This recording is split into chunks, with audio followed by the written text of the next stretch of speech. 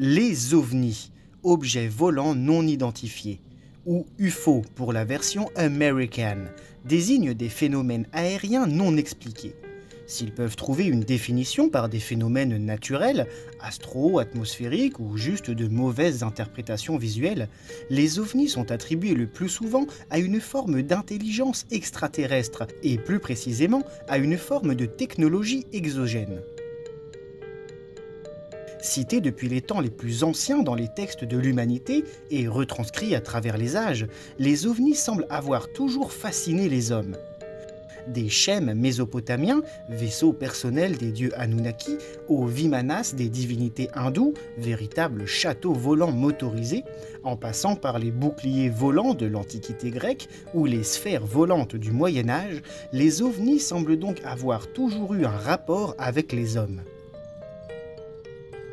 La population croissante de notre planète, les nouveaux moyens de communication associés à l'explosion technologique permettant à tout à chacun de photographier et de filmer n'importe où et en quasi-permanence, ont accru considérablement ces dernières dizaines d'années le nombre de témoignages d'observations d'ovnis. En étudiant les différentes caractéristiques récurrentes de ces observations et de ces engins volants, et en les jumelant avec les différents témoignages et les différentes sources d'informations, généralement non officielles, on peut donc en tirer une sorte d'inventaire des différents types d'ovnis et des civilisations exogènes auxquelles ils se rapportent. Alors, j'entends déjà deux types de personnes bondir sur leur fauteuil. D'un côté, les de toute façon, les ovnis, ça n'existe pas, c'est juste des phénomènes naturels qu'on n'a pas encore expliqués. Et de l'autre, les je vois vraiment pas sur quelle source fiable et officielle tu peux te baser pour réaliser un inventaire des types d'ovnis. Donc, si vous faites partie de l'un de ces deux types de personnes, ou des deux, on sait jamais, merci de quitter cette vidéo et de vous en retourner à d'autres occupations. Vous gagnerez du temps et moi aussi. Bon, pour celles et ceux qui seraient encore là, commençons maintenant à entrer dans le vif du sujet.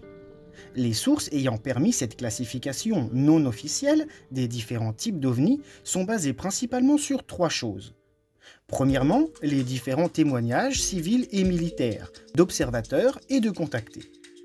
Deuxièmement, sur la multitude d'informations fournies dans les courriers humides. Et troisièmement, sur les informations très intéressantes contenues dans le dossier Lacerta. Bon, du coup, si les humides et le dossier Lacerta ne vous semblent pas suffisamment fiables, bah faites comme les deux types précédents, petite flèche rouge en haut à droite et bye bye les amis.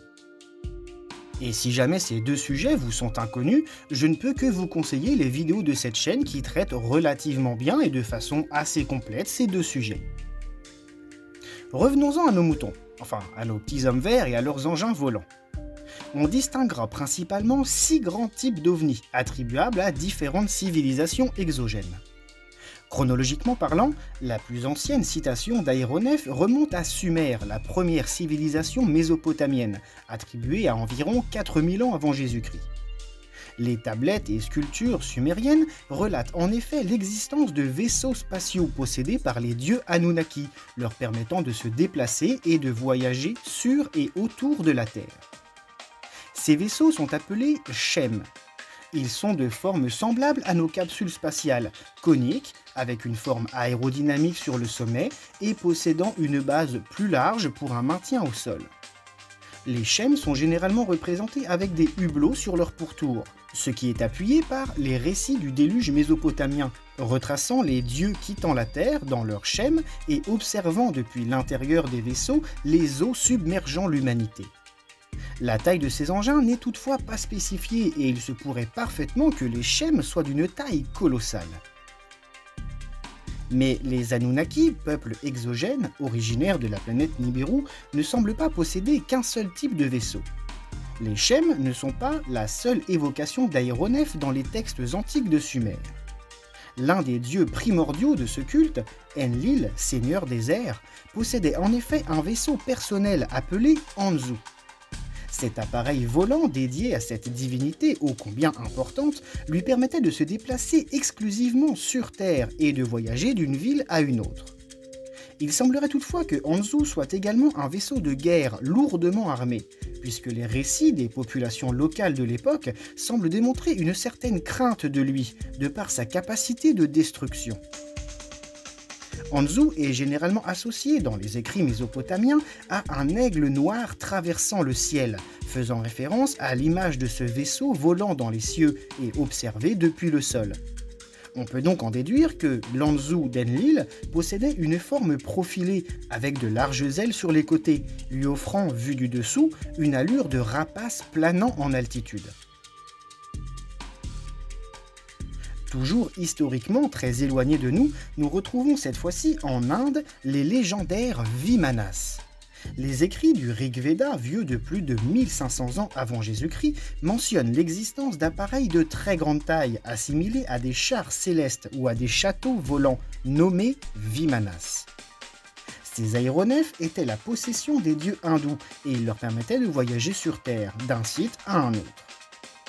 La précision technique de ces appareils, de leur architecture, leur mécanique, ainsi que leur mode de fonctionnement, reste à ce jour unique pour des écrits de cet âge. Il semblerait toutefois que les Vimanas soient exclusivement terrestres et que ces appareils, généralement de très grande taille, ne puissent pas quitter notre atmosphère et qu'ils soient exclusivement destinés à une utilisation sur notre planète. Beaucoup plus proche de nous temporellement parlant, nous trouvons les incontournables soucoupes volantes, ces disques plats surmontés généralement d'un dôme. Popularisés depuis la fin des années 40 avec Kenneth Arnold, chef d'entreprise et aviateur américain qui, en 1947, rapportera la première et officielle observation moderne d'OVNI en forme de soucoupe volante. La même année, l'affaire de Roswell au Nouveau-Mexique, où un aéronef en forme de disque se serait écrasé, viendra appuyer l'idée de l'existence de ces engins exogènes. La culture américaine, les médias et les nombreux témoignages viendront définitivement ancrer dans les esprits ce type d'ovni comme étant lié directement à une forme de vie extraterrestre intelligente. Concernant les attributions possibles à ce type d'engin, les diverses sources d'informations nous permettent de les affilier à différentes civilisations extraterrestres. Il semblerait en effet que cette forme de disque soit une sorte de constante dans la réalisation d'appareils destinés au voyage interplanétaire. Il est vrai que si l'on en croit les écrits humides, dès lors que la propulsion de ces engins ne se fait pas par réaction ou propulsion, nécessitant du carburant tel de l'hydrogène, du kérosène ou du gasoil, mais par MHD par exemple, magnéto-hydrodynamique, tel que clairement expliqué par Jean-Pierre Petit dans ses nombreux travaux scientifiques, la forme circulaire semble la plus adaptée à des déplacements simples et aisés sur de longues distances, que ce soit en atmosphère ou dans le vide spatial. Il semble donc logique que le type d'ovni sous-coupe volante soit attribuable à différentes ethnies exogènes. D'après différentes sources et différents témoignages, les disques volants de petite taille seraient donc attribuables aux humites de la planète Oumu de la constellation de la Vierge, mais également aux réticuliens, les petits gris originaires de Zeta Reticuli. On y attribuera aussi une certaine flotte spatiale des reptiliens intraterrestres, bien que ce type d'engin ne soit pas la caractéristique principale de cette ethnie.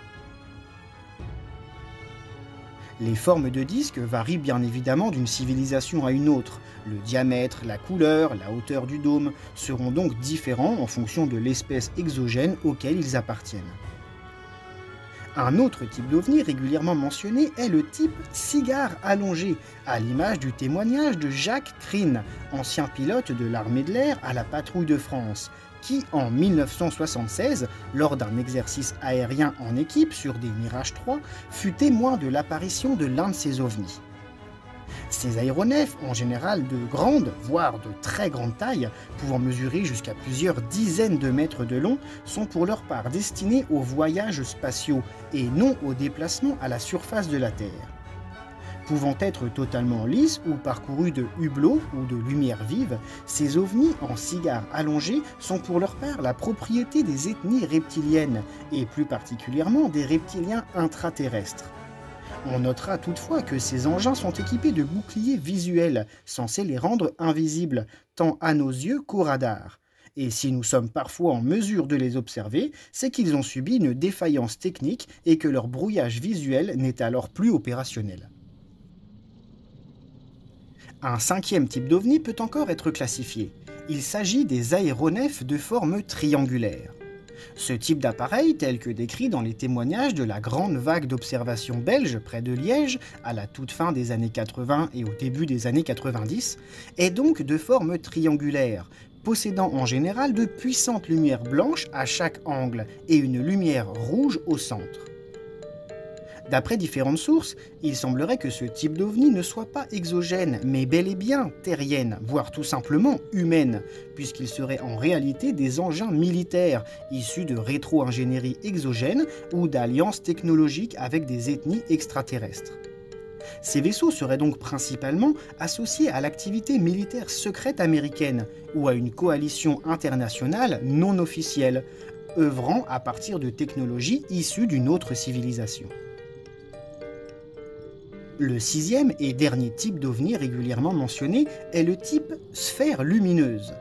Il s'agit en général de boules de lumière de petite taille, moins d'un mètre de diamètre, jaune, orange ou rouge, se déplaçant dans les airs et possédant des trajectoires très particulières, semblant pourvues d'une forme d'intelligence. De nombreux témoignages associent ce type d'ovni au crop circle, les cercles de culture apparaissant dans les champs notamment en Angleterre. Toutefois, aucun contact ou aucun rapprochement ne semble avoir eu lieu, puisque ces sphères lumineuses semblent fuir toute approche humaine. S'il reste possible que ces ovnis soient une forme de technologie exogène, contrôlée à distance, tels des robots aéronefs envoyés en mission, on ne peut pas exclure qu'il s'agisse de manifestations énergétiques d'un autre plan, éthérique ou astral, entrant momentanément en contact avec notre plan physique pour venir nous délivrer un message. Le mystère sur les origines de ces sphères lumineuses reste donc entier. Sont-elles des engins physiques exogènes, des formes de technologie extraterrestre envoyées sur Terre Ou s'agit-il de manifestations énergétiques issues d'un plan différent? Aucune source ne semble pour l'instant en mesure de nous apporter une réponse probante sur les origines de ces sphères lumineuses. La similitude de nombreux témoignages, ainsi que les diverses sources d'informations possibles, nous permettent donc d'établir un glossaire des principales formes d'ovnis et de leurs origines. Bien évidemment, rien de tout ceci n'est officiel, et chacun y apportera l'importance qu'il désire. Mais il est toujours intéressant de croiser les différentes sources d'informations pour tenter de mieux comprendre un phénomène, surtout quand il s'avère aussi passionnant et intrigant que le dossier OVNI. Que tout ceci soit vrai ou non, cela démontre bien l'intérêt que les hommes portent à ce type de phénomène. Et cela permet au moins, dans le pire des cas, de rêver un peu et de s'évader librement quelque temps de ce monde terrestre bien trop souvent oppressif et cloisonné.